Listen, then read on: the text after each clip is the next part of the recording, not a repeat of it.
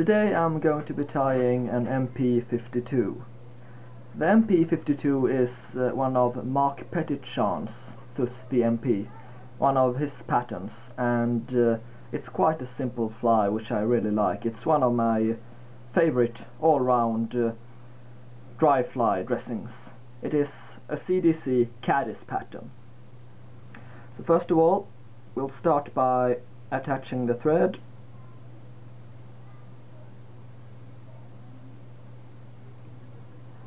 like that. Run it down to the hook bend. All the way.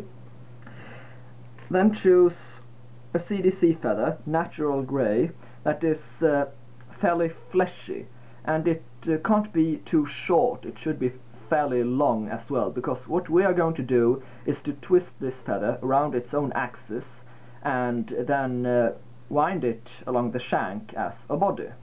It requires some training, so don't be frustrated if you don't manage at the first try.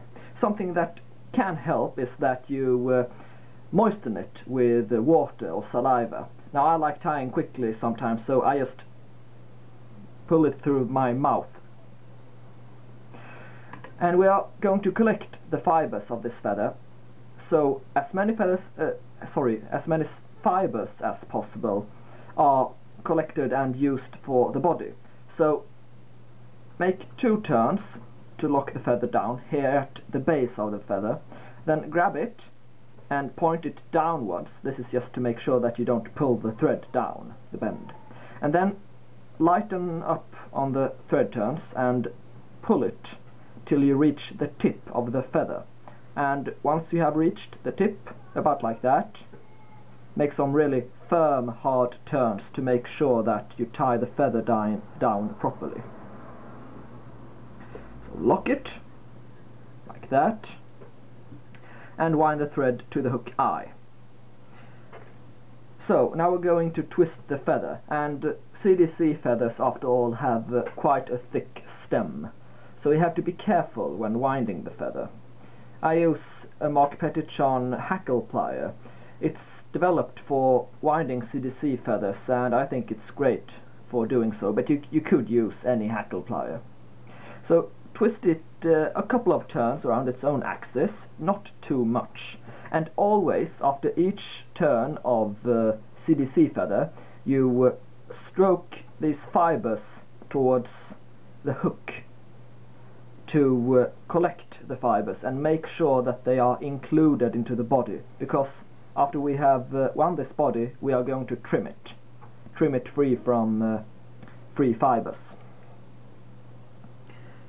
So we twist it a little for each turn and we stroke the fibers along the feather for every every turn. And uh, stop short of the thorax. So leave a little room for thorax. And uh, since this is such a heavy stem. We need to lock this down. Look I almost lost it there. We need to lock it down real good. So take many hard turns and tie it down. And then you can trim away the excess like that. Alright now for the wing. No wait. First we are going to trim the body. So just grab those fibers because you don't want them. Now really this is a matter of preference. Some people like it more buggy, but I want it uh, more clean, this body. Just watch your tying thread and cut those fibers away. Now these few fibers that you might gain, don't throw them away dub them onto the thread because that is what we are going to make our thorax out of. So now for the wing. Choose another CDC feather and tie in a bunch of fibers. Make it a fairly bulky wing. I like it that way personally. I'm going to use a... You can tie... You can rip the fibers off and tie them in in bunches, but I use this Marriott CDC tool Quite a nice tool for making CDC wings.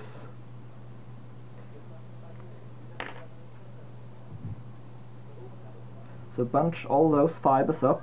You want as many as possible to make the correct silhouette to the fly. Like that, and tie them in. Like that. You might want to cut a little taper, because if you have this many fibers, it can become quite steep. Lock it down.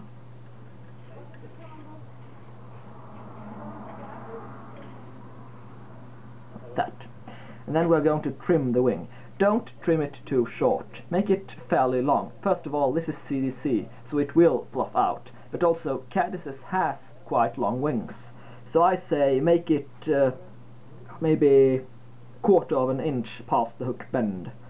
And if you find that too long, just make it shorter. And these fibers, dub them directly to the thread, because now we are going to wind the thorax.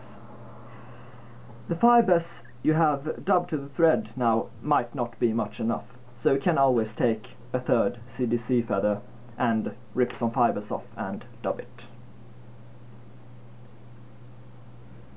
I say you shouldn't dub too much CDC dubbing to the thorax. It should be quite small, in my opinion.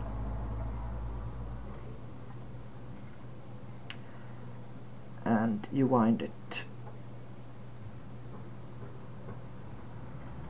like that.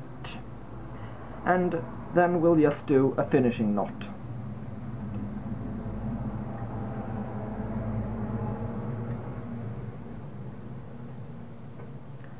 I usually make two whip finishes.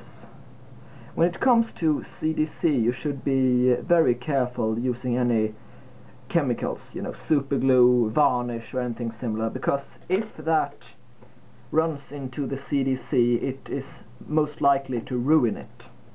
So it's easily happen that you ruin your fly if you use chemicals like that.